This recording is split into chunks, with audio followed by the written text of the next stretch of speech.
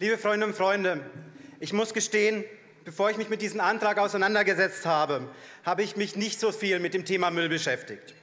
Natürlich habe ich wie viele von euch wahrscheinlich auch den toten Wal neulich gesehen. Sein Magen war mit einem Drittel voll Plastik gefüllt und er ist elendig daran gestorben. Natürlich wusste ich, dass Plastikmüll in den Ozeanen herumtreibt und ich kannte auch abstrakte Zahlen. Zahlen, mit denen ich einfach gar nichts anfangen konnte.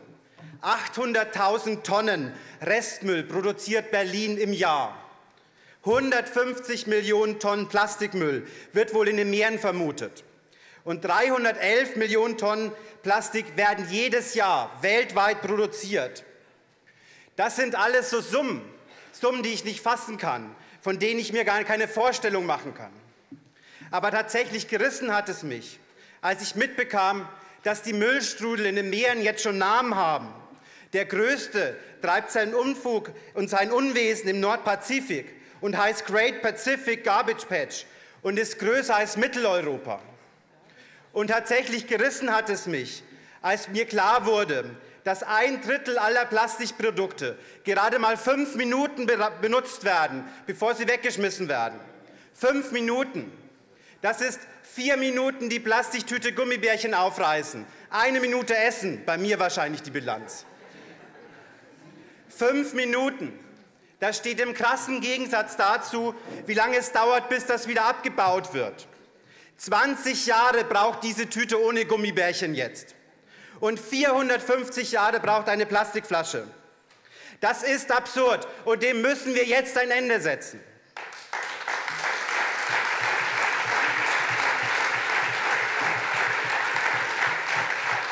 Schon früher Schon früher hieß es immer bei uns Grünen, global denken, lokal handeln. Und genau damit, damit fangen wir jetzt in Berlin an. Wir machen Berlin von der Mülldreckschleuder zur müllfreien Stadt. Unser Leitbild Zero Waste werden wir jetzt verankern und jetzt umsetzen. Denn wir Grüne, wir wollen die Welt retten und das auch von Berlin heraus.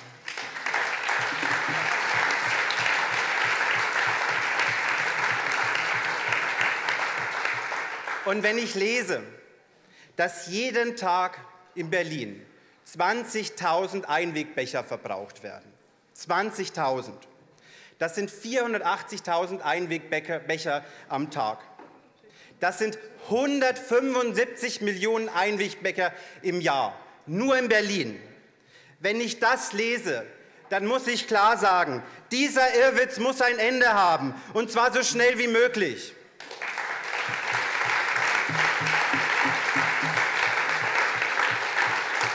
Einwegbecher. Die Einwegbecher sind ein wirklich gutes Beispiel. Denn die braucht nämlich kein Mensch. Wirklich keine und wirklich keiner. Solch einen Müll müssen wir in Zukunft komplett vermeiden. Und deshalb haben wir auch mit der Better World Cup Kampagne etwas Neues aufgesetzt und ein echtes Pfandsystem in Berlin, ein, bleibt nicht stehen, ein echtes Pfandsystem in Berlin für Mehrwegbecher aufgesetzt.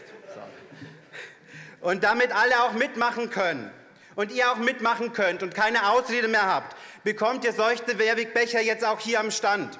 Also macht mit und sagt mit uns zusammen den Verpackungs- und Einwegwahn den Kampf an. Denn der beste Müll ist kein Müll.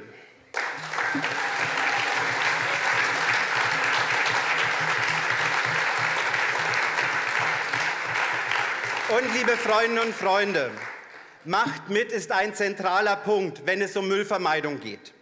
Ihr müsst mitmachen. Aber es müssen eben auch alle Berlinerinnen und Berliner mitmachen. Wir können nicht per Ordre die Mufti von oben her die müllfreie Stadt durchsetzen. Nein, wir brauchen da die Unterstützung aller Berlinerinnen und Berliner. Und genau deshalb fördert jetzt auch Berlin auf Druck der Grünen Fraktion im Abgeordnetenhaus zivilgesellschaftliche Initiativen und Organisationen, die sich für Müllvermeidung und Wiederverwendung einsetzen, mit einer Million Euro. Und das ist zentral und wichtig, um alle mitzunehmen. Und, liebe Freundinnen und Freunde, beim Müll macht eben Kleinvieh auch Mist. Und deshalb gehen wir in vielen, vielen Projekten auch hinein. Zum Beispiel fördern wir auch mit einer Million Euro nun, dass Trinkwasserbrunnen in Berlin überall aufgestellt werden, damit die Berlinerinnen und Berliner keine Einwegplastikflaschen mehr kaufen müssen, sondern überall in der Stadt ihre Flasche auch wieder befüllen können und damit auch in Berlin es heißt, nicht nur steter Tropfen hüllt den Stein, sondern in Zukunft auch steter Tropfen hüllt die Flasche. Und wir ganz nach Loriot und Frei sagen können, ein Leben ohne Müll ist sinnvoll, äh, ist möglich und sinnvoll.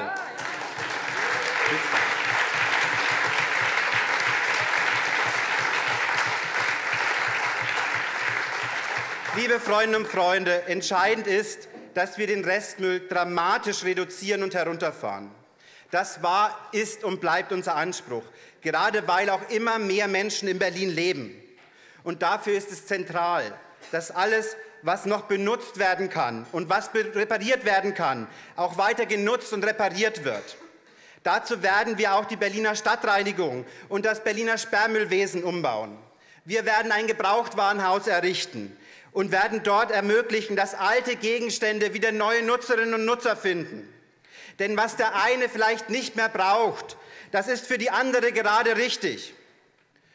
Ob Menschen, ob Menschen wirklich wiedergeboren werden können, das wissen wir nicht. Aber bei Gegenständen, bei Gegenständen, da geht das. Da geht die Wiederauferstehung. Und das müssen wir, da muss man nicht mal dran glauben. Das muss man einfach machen. Und wir machen jetzt diese Wiederauferstehung.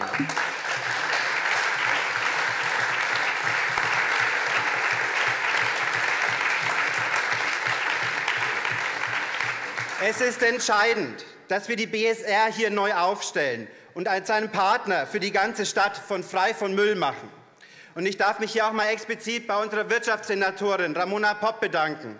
Ramona, als Aufsichtsratsvorsitzende der BSR beweist du wirklich, wie man so ein Unternehmen mitnimmt in eine moderne und ökologische Zeit. Dafür Chapeau.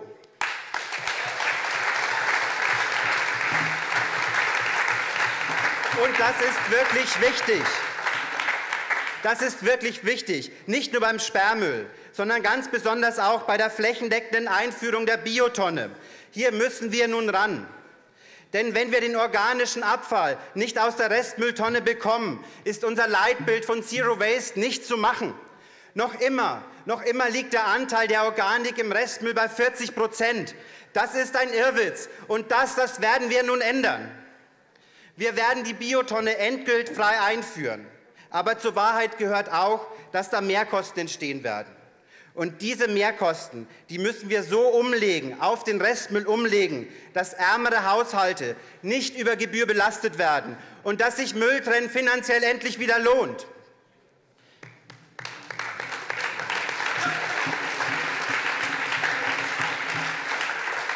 Liebe Freundinnen und Freunde, wer von der Bioabfalltonne spricht, der darf von der Vergärung nicht schweigen.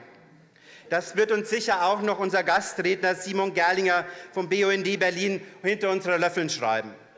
Und ja, ja, das haben wir auch im Blick.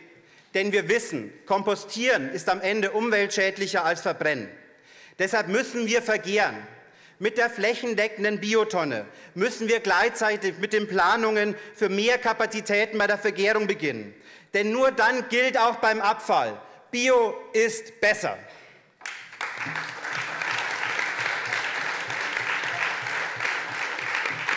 Liebe Freundinnen und Freunde, neben unserem Leitbild Zero Waste werden wir uns auch darum kümmern, dass die Parks, dass die Spielplätze und dass die Straßen sauberer werden. Wir wollen, dass alle, ob klein oder groß, ob jung oder alt, den öffentlichen Raum auch nutzen können. Und dass die Omas ihre Parkbänke haben und die Kinder ohne Bedenken in den, Spiel, äh, in den Sandkästen buddeln können. Daher werden wir die Reinigung durch die BSR der Parks und der anderen Ecken auch ausbauen. Aber dabei ist auch entscheidend, dass die Bezirke ihre bisherigen Gelder für die Parkplätze weiterhin haben. Und wir werden keine Sondereinheiten für Spezialgebiete schaffen. Die SPD nennt das Müllsheriffs. Nein, die brauchen wir nicht. Wir müssen in Berlin nicht Wilder Westen spielen. Das macht gar keinen Sinn. Wir werden und müssen die Umwelt- und Ordnungsämter weiter stärken. Denn die Bezirke und Kieze in Berlin, die sind so unterschiedlich. Da macht es keinen Sinn, von oben etwas aufzudoktrieren, sondern wir müssen die Fachkräfte vor Ort verstärken und ausbauen. Denn ihr, ihr vor Ort, wisst doch am besten, was genau zu tun ist.